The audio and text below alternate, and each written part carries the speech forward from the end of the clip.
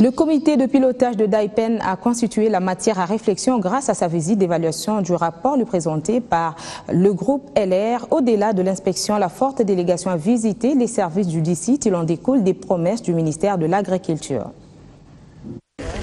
C'était une descente du comité de pilotage de Daipen sur le terrain pour examiner le rapport du LR Group du mois de juillet. Les experts étaient venus de partout, présidence, primature, ministère de l'Agriculture, économie, affaires foncières, portefeuille, industrie et budget.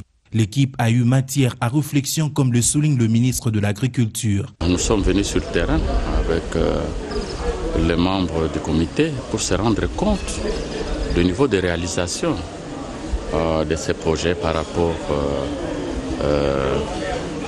situation qui nous a été présentée par LR Bon, et, aussi faire l'audition des rapports des membres du comité d'experts. Nous avons reçu ces rapports.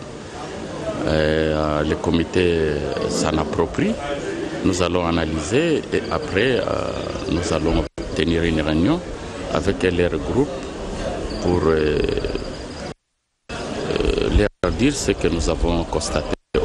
Après la descente, c'était la visite par cette équipe de différents services du site. Elle a promis des analyses approfondies à la prochaine rencontre qui s'annonce imminente.